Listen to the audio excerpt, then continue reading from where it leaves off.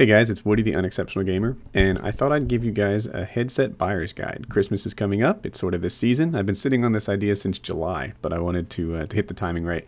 So here we are. Now, before I get into the current headsets on the market, I talk a, a little bit about my history. I have had the X4s, the X41s, and the Astro A40s. Those are the ones I've personally owned and gamed with a lot. Uh, this headset guide, by the way, if anyone's not a sub, is geared towards gaming. It's not geared towards movies or music or whatever, although I will mention them from time time to time. Uh, I have had, although all of those are surround sound headsets, I have put them in stereo mode. In particular, at one point I had the optical cable routed through my TV and, and uh, it didn't save the 5.1 surround sound. So I've had experience with um, stereo headsets in addition to surround sound headsets. And I think that makes me fairly well versed. I wish that I had owned every headset of the market and I could be a true pro at this. But um, here I am, and this is the best I can do. and uh, I hope that you enjoy it. So here we go.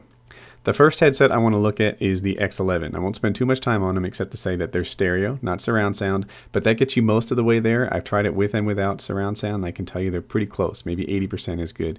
And like any headset, the benefit to you is that you can hear game sounds better than you would over, say, TV speakers or even a surround sound system. I have a, a, a video where I compare those, and I can put a, an annotation on the screen about now. If you want to see that video, I'll put a link in the description as well. But um, headsets do a better job of letting you locate where sound is coming from than a surround sound system does. I promise you it's true. The other thing a headset gives you is uh, what I guess I call audio privacy. So, uh, from your family's perspective, like if you're gaming in the area, they don't have to hear we're losing Bravo for the 101st time again and again and again. And those repetitive game sounds that might be really interesting to you, the gamer, but are kind of annoying to hear uh, in the rest of the house. So, a stereo headset or any headset does a really nice job of, uh, of making the gaming experience just yours and not uh, you know, annoying uh, all the people around you. So the X11 is a good entry level set. If you get it, you, you probably won't regret it, but there are other ones to look at. Next comes the Turtle Beach PX21. All the things I said about the X11 are true with the PX21 also. It's wired, it's stereo, it's the same thing, but it has a few advantages over the X11, and they're not necessarily performance related. One is that it works with the PS3. I think it's $20 more, by the way. It works with the PS3, and that's a nice deal. It's USB, so that, that's how it gets its power. And it should also work with your PC, which is nice if you ever want to get into YouTube commentating or have conversations over Skype or all those things. Now you have a mic and a headset that one makes it private private, and two provides much better audio than it would uh, otherwise. Like I think uh, half the guys on our, I think Turtle uh, Wings of Redemption uses this for his gaming, and he also uses it for our podcast. So um, so the audio quality is there, and uh, it does a good job of getting you in the game in, in, on the PS3. And if you don't have any need for this outside of gaming and you're on the Xbox, you probably just as fine with the X11. But the PX21 for an extra $20 gives you some extra flexibility. The next headset we talk about is a Xbox exclusive, and it's the X31. So the X31 is the same as the previous two, except it's wireless. Now I've owned wireless headsets. I've owned both their um, infrared wireless and their um, radio frequency wireless, their RF wireless. And um, here's the deal: the infrared has a problem. Uh, the bonus of the infrared, which they don't sell anymore, is that it was cheap and um, and it worked fine. It didn't it didn't interfere with the other electronics in your house. On the downside, plasma TV sent uh, infrared signals, so there was this constant buzz. And it used to be that the brighter maps in you know on gaming would send more infrared interference into the headset, and you get a louder buzz, and it was a bit of a problem. So then they went to radio frequency, which is what all their current ones are, the RF uh, wireless. The upside of the radio frequency is that the sound is better. They claim that it's CD quality sound. It's really not. Uh, there's still some hum, and you still hear some background noise, especially if you're turning up loud. But um, the sound is much better than it was on infrared. The downside, and, and I have this from experience, the uh, if there's a lot of radio frequency interference in your house, then they don't work. So um, I'm going to sort of group together the next one here, the X41, which is the one I actually owned. The transmitter on the 41 is weaker than it is on the 31. And that means that you're more likely to have trouble with it than you are on the X31. And you have to sort of judge that the Geek runs really strong in my house. So we have all kinds of cordless phones, microwaves, uh, you know, routers, computers sending signals. And, and uh, so my house has a lot of wireless stuff going on. And the 41s flat out didn't work for me. They they said that um, they, they, they, couldn't fix it. I worked with support. I went through the whole knowledge base. There was no cure to it. And part of the problem was that my wireless router was right there with my gaming setup. So when the headset went to pick up the signal, it had to receive, it had to, the wireless router kind of overpowered it. And here's what the symptom was every 30 seconds, like clockwork. You could look at the clock, you could watch the second hand sweep, and every 30 seconds there would be a loud click, and it was intolerable, right? It'd be painfully loud click, like a bang maybe, and then followed by a second and a half of silence. And what the headset was doing is it was switching channels. There's like 11 or 13 channels that it goes through. And every 30 seconds, it would look and try and find a better channel, one with less interference. And uh, on your wireless router for your computer, you can turn it down from, I'll say, N to G, you know, to, to lower it. But even that didn't fix it in my house. So the deal was I had to return it. The X41s flat out didn't work. I, I spent maybe 10 days using them and trying to convince myself that this wasn't a problem. But um, when you get, you know, audio raped every 30 seconds for 10 days in a row, you, you start to, you know, realize that as much as you wish these worked for you, they don't. And uh, every 30 seconds, they change channels, which was a click bang type thing followed by silence and it ruined my gaming experience. So uh, if they were good you know in between those 30 seconds then that would be a viable headset the x41 and if wireless is a big deal to you maybe you don't want to have wires all across your living room floor all the time for kids and dogs to trip on then they'd be a viable set. The x31 which i'm talking about sort of here combined is um, has a stronger transmitter. So it has a better chance of overpowering your, say, wireless router as it tries to get the signal to your headset. But, um, uh, you know, I, had kind of stuck on surround sound at the time and I went for something new. But um, the X31 and the X41, the key difference here is that the 41 is surround sound. So this is the first system we've looked at that uh, makes an attempt to take that you know, optical signal that's fed into it and decode it and turn it into surround sound. So we're going to talk about that more on the Trittons to give you a, feeling for it. But um, the X31 and 41, both viable headsets. Uh, when you get in the X41, we're $200 here, so it, it's no joke. You do pay a premium for it being wireless, but in certain environments, it's worth that premium. Uh, I, oh, the other thing is they eat through batteries. I, I, think you know they went through AAA's if I remember right, and I probably got about four or five days out of gaming before I had to replace them. And then of course, rechargeable ones are going to last even less long. You're not not even as long, but um, on the upside uh, rechargeable batteries and you can use them again and again. So if that's your thing, that, that might be a viable option. But they do chew through batteries more than you might expect. So the wireless is nice. Uh, there is a buzz that you'll hear, especially if you turn the volume up. And you do have to look at your house. If you're playing right next to your wireless router, then you might want to just go for wired and, and avoid yourself the heartache. But let's keep moving on and look at more of these things. So now we're up to the Tritton AX Pro and AX720. And I know I'm going to get myself in trouble at this point, but uh, I'll do it anyway in an interest of making the best video that I know how to make. This 720 is the one you want. So here's the difference. When you simulate surround sound, or when you make surround sound in a headset, you have two choices. You can either do it with multiple speakers, or you can do it through simulated surround sound. On the surface, you would think that multiple speakers is the high-end way to do it. You put three speakers in each ear cup, one sort of front, one directly on it, and one behind, and uh, you, you pump the music through, and you'd think that separate speakers would be better for directionally locating sound than using one speaker and having that pretend to directionally locate sound. The thing is, it's not.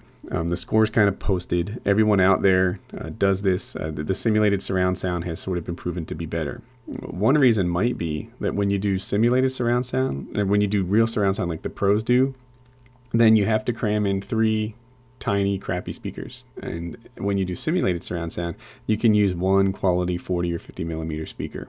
And because of that, uh, you get better sound. So let's talk about the 720s some more.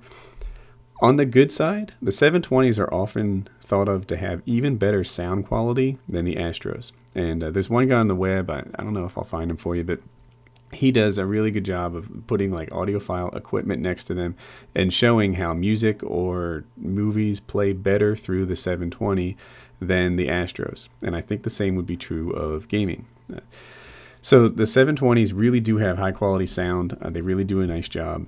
On the downside, and this is why I don't recommend them, there's two. One, the mic is not known to be as good as some of the other headsets. And the bigger issue is their durability. I don't know anyone who's used these for any significant amount of time, except maybe Hutch, who um, who hasn't had durability issues with their Trittons. They always run into trouble. Everyone I know, it's just something about their design. The mics start failing, the thing starts falling apart, and it's trouble. So if they could get that worked out, then they would have a really viable headset on their hands. As it is, I just can't see spending that much money and not getting a headset that lasts. And also their their support is not as strong as say Astro's is. If anything goes wrong with your Astro, then they tend to just fix it, send new parts for free, and you're good to go. Uh, with Tritton, it's not as good an experience. So um.